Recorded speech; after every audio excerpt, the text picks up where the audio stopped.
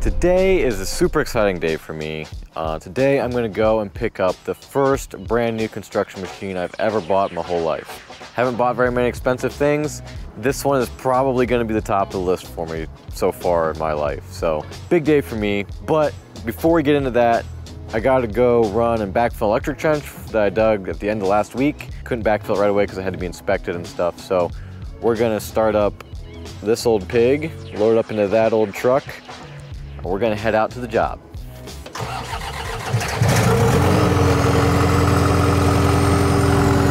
She actually started up really good. It's been like a month or so since I had this thing running last, I think.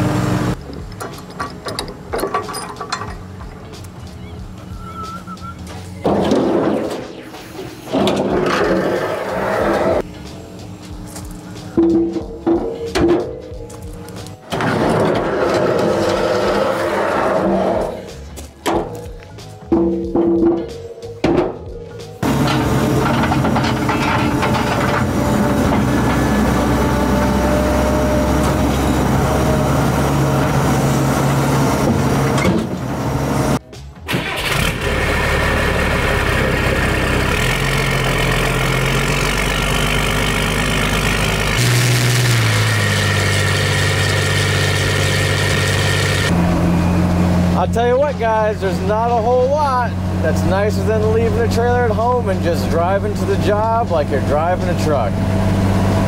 Makes for a nice drive. Alrighty, so we're here on the job now, and this is what we're gonna do today. We have an electric trench that I dug late last week, and uh, they got the pipe in, they got inspected, and now it's time to backfill. So this is a new house construction. This is an old farm building that was just a part of the farm that was here before. And the new driveway is gonna come around the telephone pole this trench goes to and come right through the driveway here, or through the barn here, sorry. This was the best route for the trench despite the building still being here, and so this is where he ran it.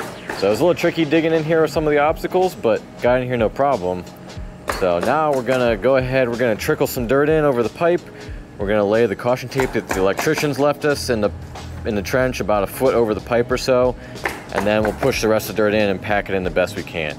No matter how much packing I do, the trenches still end up soft after rain, but just is what it is. You can't pack it all the way down in the trench by running it over because you'll you'll lose the machine in the trench, you know? I'll set you up on this steel post here and uh, you'll see what happens.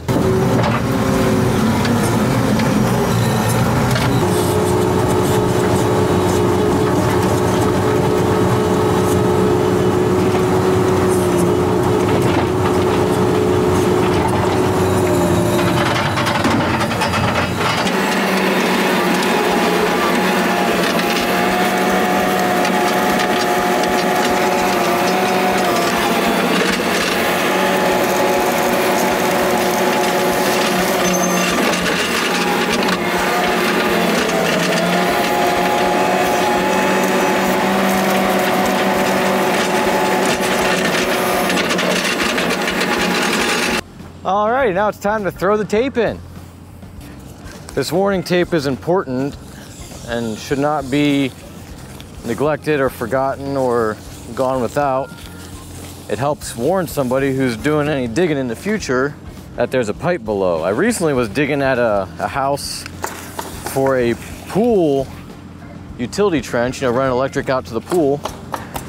And they had put the caution tape right on top of the electric service for the house. And so I, I knew I was close to electric service because I had it marked out and everything. I ended up getting closer to it than I thought and I caught the tape, but the tape was only like two inches above the service. Thankfully I didn't hit that, but it just goes to show that stuff is important. It does work and it's important that it's a foot above the pipe like it's supposed to be. You don't want to have it smack on top of the pipe because that doesn't do anybody any good. Now it's time to put all the dirt back in the hole. All of it.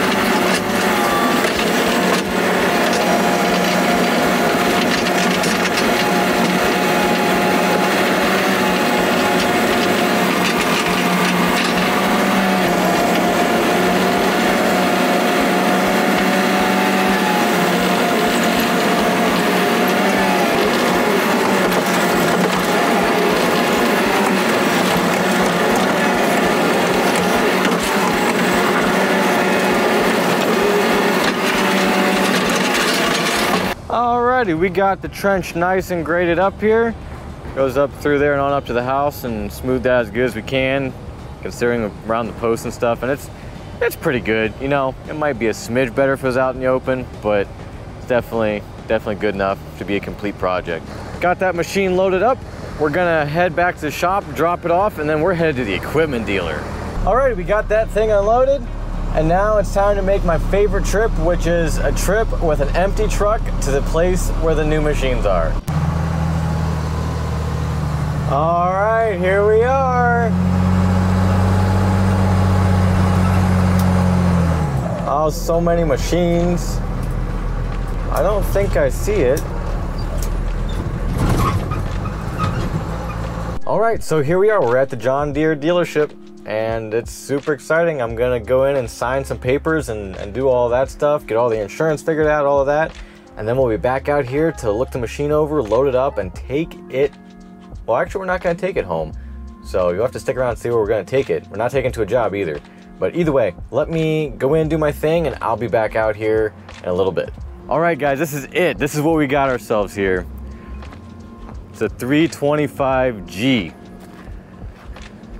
And boy, is it pretty. This is such an improvement. I know the camera doesn't do the size justice, but it's such an improvement over that New Holland machine that I have right now.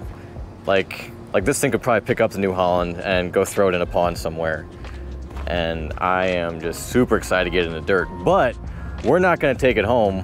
We're gonna take it to another place and we're gonna do something else with it first. So I'm gonna load it up real quick and we'll talk more about that later.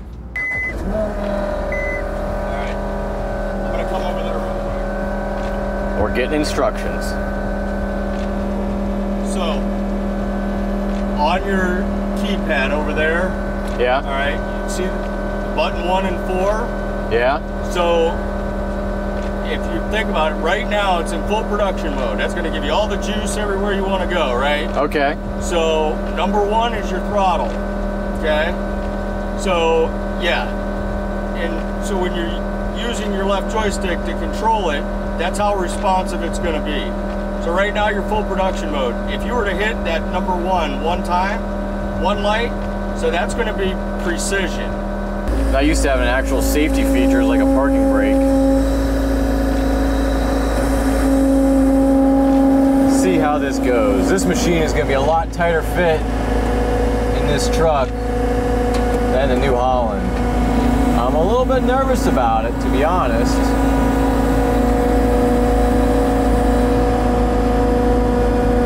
Oh yeah, we're gonna do it. We're making it.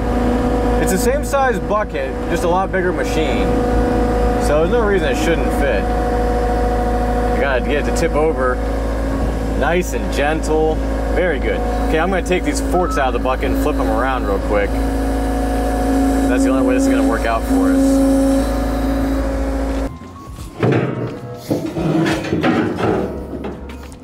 Oh, don't, you don't have to get in here, I'll get it. If I can't get it by myself now, I can't get it by myself at the job.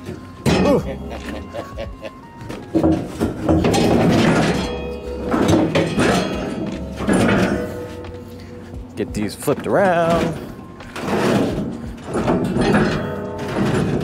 Something like that. It's maybe not my first day, maybe my second day.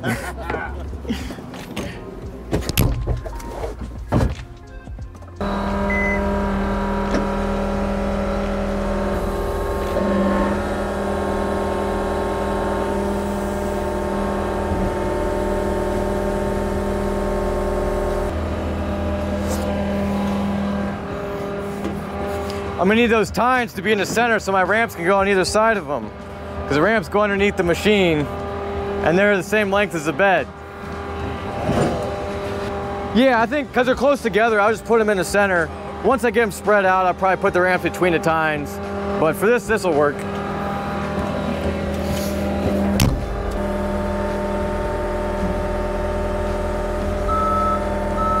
All right, guys, we got it in. And let me tell you what, it's a, it's a little bit of a tight fit, but it's a fit. Got the forks up against the back here, tines are you know, slid together and in between the ramps that are slid up underneath the machine. I'm not quite centered, so that might be a little bit troublesome getting chained down, but it's gonna work. We're gonna get to where we're going here. No problem. Alrighty, we are all chained down. Let's hit the road one more time. Get to our final destination today. Here we go.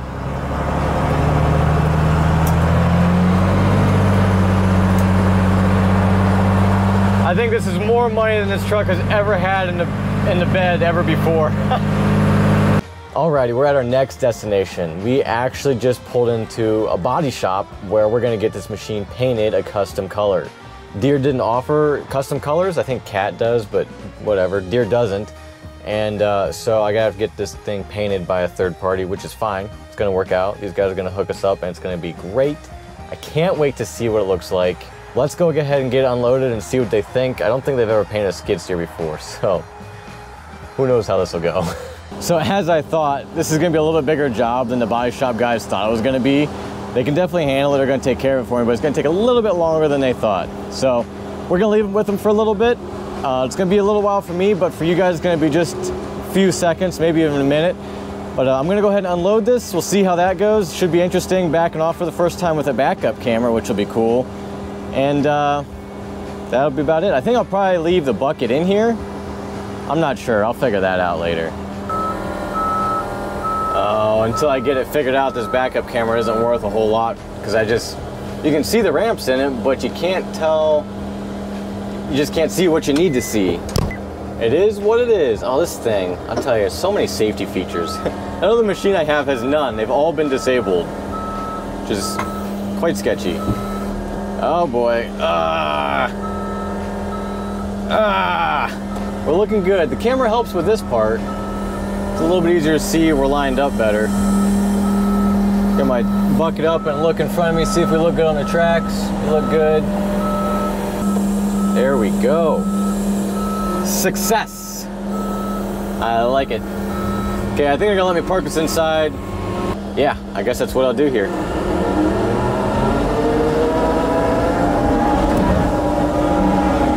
Say what?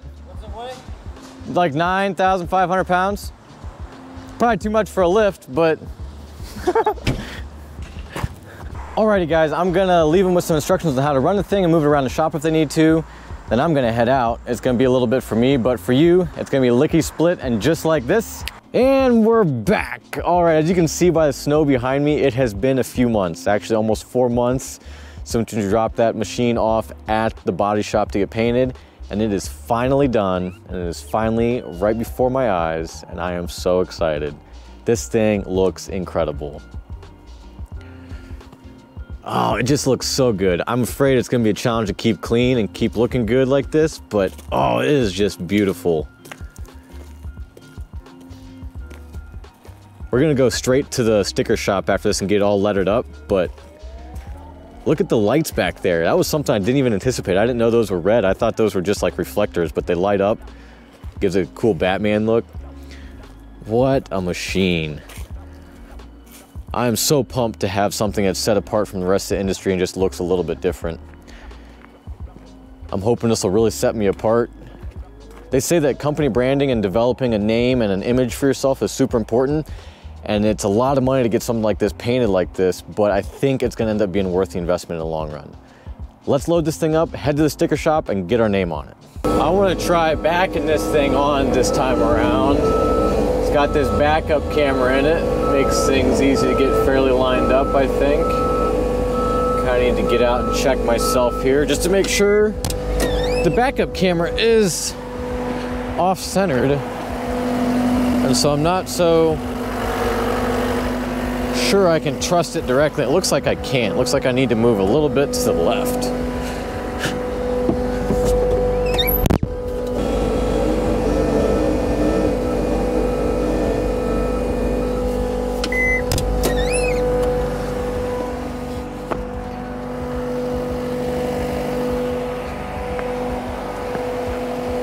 Trial and error, trial and error.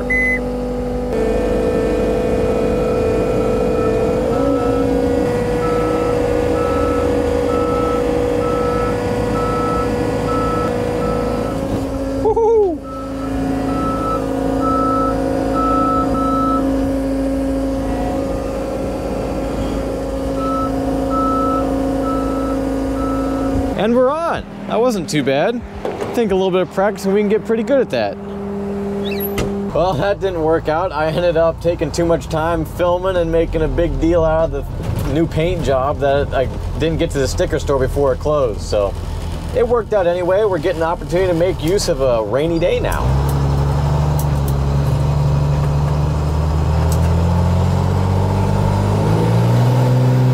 That's a really full pond for this year. It's been a dry year here in Ohio. Glad they got water. So my sticker guy runs a business out of his house and he preferred it in film. It's, you know, it's place he lives and I certainly want to respect his wishes there. So we're back at my house and this is the moment you've all been waiting for. You can see the bucket there just behind the truck. I'm gonna hop in the machine, pull it out here and you can see what it looks like.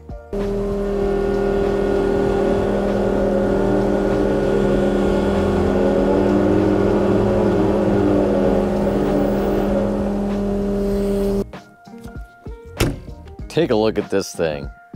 This has got to be one of the sweetest looking things I've ever paid money for.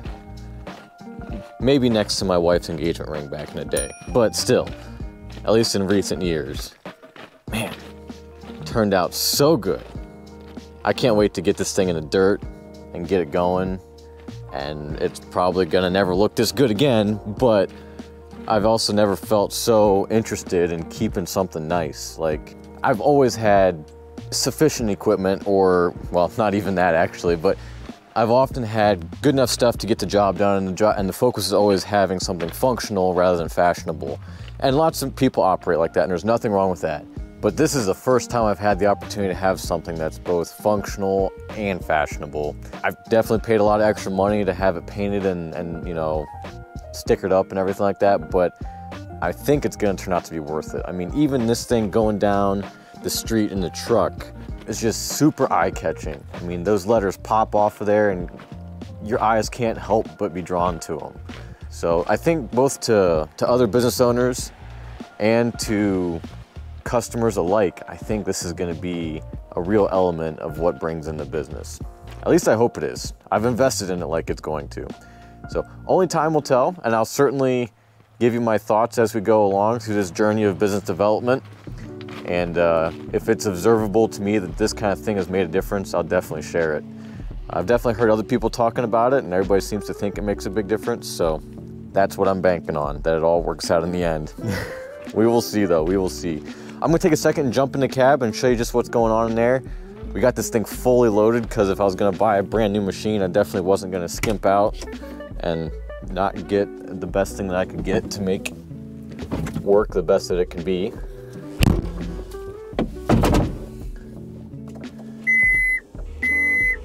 So I really haven't had time to sit down and really fiddle with everything and figure it out, but I'll go over the big stuff with you real quick here.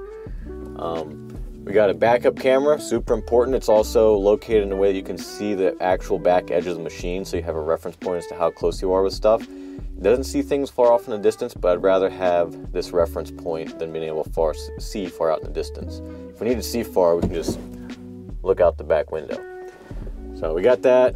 We got some gauges up here. I wish this screen had more information in it, but you can't have everything, I guess. We got ourselves a Bluetooth radio, um, the standard rear view mirror that comes in everything, it seems like.